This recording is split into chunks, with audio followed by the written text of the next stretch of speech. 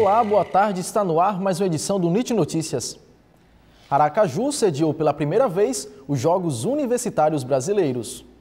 Em quadra, duas seleções universitárias disputam a partida de vôlei dos Jogos Universitários Brasileiros. Pela primeira vez sediado em Aracaju, o evento reuniu cerca de 4.500 estudantes de todo o país e levou muitos torcedores à arquibancada do Colégio Graco. De um lado está a equipe universitária feminina do Paraná, do outro o time do Acre. Mas o que essas duas equipes têm em comum? Os técnicos aprendem mais, os atletas aprendem mais. É muito importante trocar é, experiência, cultura, pessoal, sotaque, é tudo, é tudo maravilhoso. A cada saque, a emoção tomava conta das atletas. Mas quem levou a melhor na partida foi a equipe do Paraná.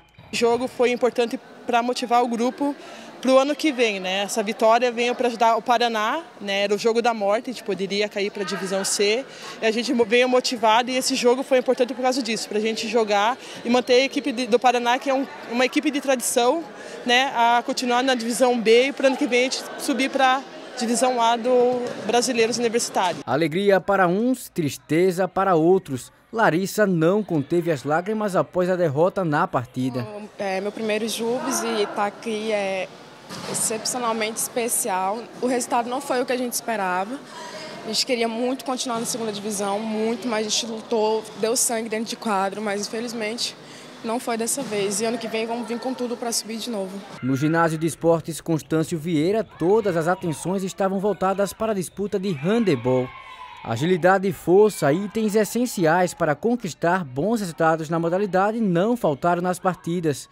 Uma coisa é certa, além de garantir a prática esportiva, o evento abriu espaço para interação entre as atletas de várias partes do país. E hoje trazer um evento de handebol para nosso estado nesse porte significa muito para nós, é muito gratificante e um incentivo para os nossos jovens para continuarem praticando essa modalidade que é tão vencedora em nosso estado.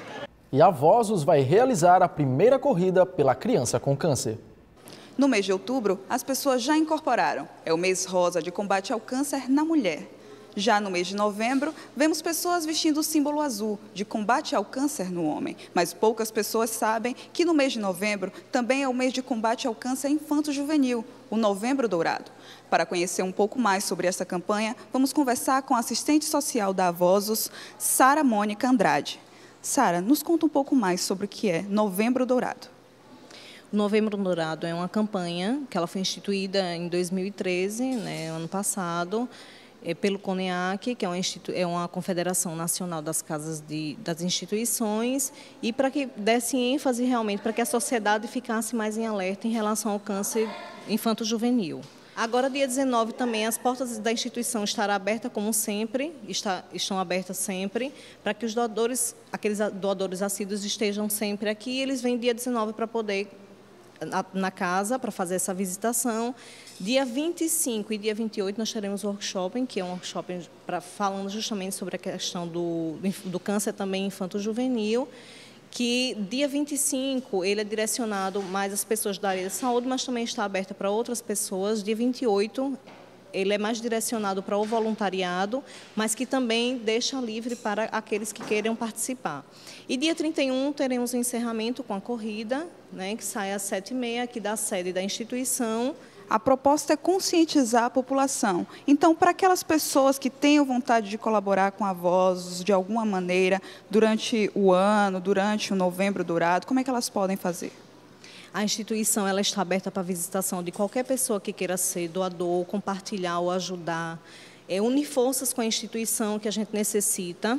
Então, a qualquer momento, faço o convite e agradeço todos aqueles que já estão conosco, nos ajudando durante todo o período. E peço àqueles que não conhecem, que venham conhecer a instituição, vejam o nosso trabalho, né? vejam da forma mais real que é vindo até aqui a instituição. O horário para visitação é das 8 da manhã até as 17 horas. Obrigada, Sara. Andréa Roosevelt para o UNIT Notícias. A edição de hoje fica por aqui.